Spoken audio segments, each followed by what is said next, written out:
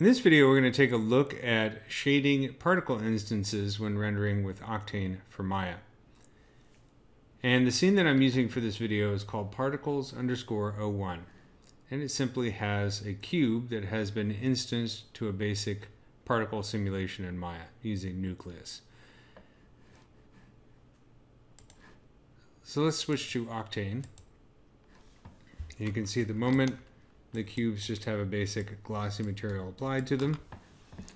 So let's select the original cube instance so that we can go into the attribute editor and find the attributes for the glossy material that's been applied to it. So I'm going to click on the checker box next to diffuse. This will open up the create render node window and I want to find under geometric the random color texture. So this is specifically meant to shade particle instances. So if I click on it, you can see that what's being applied is a random grayscale value to each instance. So let's rewind the scene and play it a little bit. And then when I pause, you'll see the particles update. So as I'm playing through the scene and pausing, we can see the particles here. And you can see how they get random values between 0 and 1, or black and white.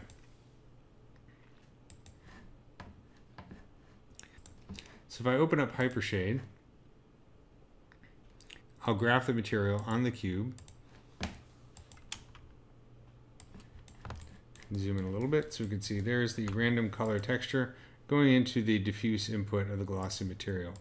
So of course you can use this as an input for other textures. So for example, if I decided to, so if I add a mix texture for instance, I can plug this into the amount for the mix texture. So that's going into the amount. And then for the two textures here, I'm going to add a couple RGB spectrum textures. So I'll make a red one. Go back to my mix texture node and I'll add a green image or green color. Of course, now when we wind and play the scene, Oh, nothing's going to happen because I forgot to plug in the mix texture into my glossy material. So let's do that real quick. Select the glossy material and let's bring this over to diffuse. And now you can see that we're getting random mixes between red and green. So the ones that are in between are getting shaded yellow and then on the either extreme we either get red or green and then everything in between applied completely randomly thanks to the random color texture. Okay, so that's pretty straightforward. Let's take a look at some other nodes. I'm going to move these off to the side here. Let's disconnect it from the diffuse channel of the glossy material. And we'll go back to the geometric section. So now let's add the Octane instance range texture. So I will plug this into the diffuse channel. And if we play the scene, we get either white cubes or black cubes. So we need to edit the one and only setting found in the instance range texture, which is the minimum ID. So if I increase this, let's say we'll put it to 25, then you can see now we're getting a wider range of values between 0 and 1. It's based on the number of instances.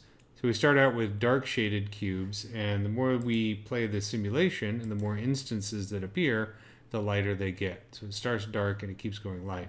So if we increase this value, if we set it up to like 500, it would take a much longer time to go from the dark instances to the light instances, depending on how many instances there are in the scene. So you can kind of think of it as a gradient. Um, so of course, this can be also be plugged into a mixed texture. So if we go back to our network here, I'm going to select my mixed texture and this time I'm going to replace the amount with the instance range texture and then let's put this into the diffuse. And now we start out with mostly red cubes. So I'll just pause it every once in a while as we're playing it. And gradually they become yellow and eventually they'll start to become green.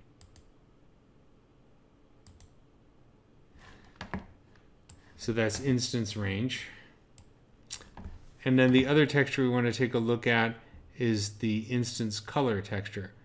click on this, and this actually takes an image input. So let's plug this into the diffuse channel. And for the image, I'm using this image which I created in Photoshop, which basically shows square image with purple, red, green, and blue. And you can see it's going from light to dark. So what's going to happen is I play the simulation.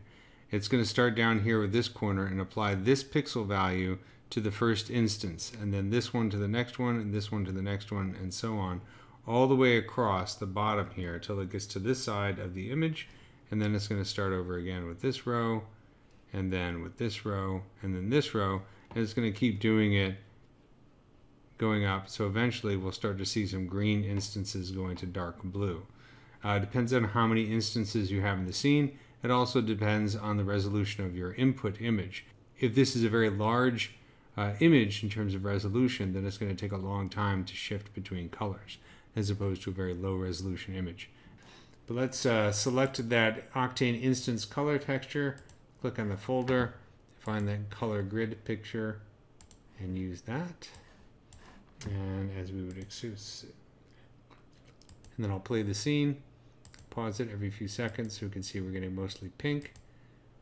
And they're gradually going to start to get darker and redder.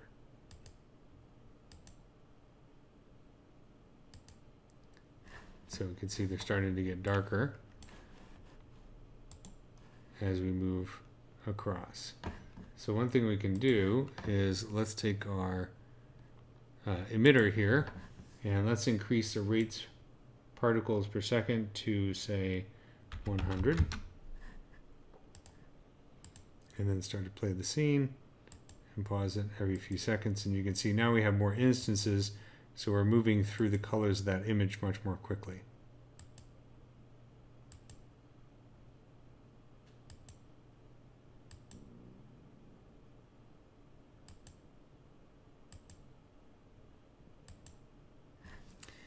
So there you go. There's some of the textures that you can use when rendering particle instances with Octane for Maya.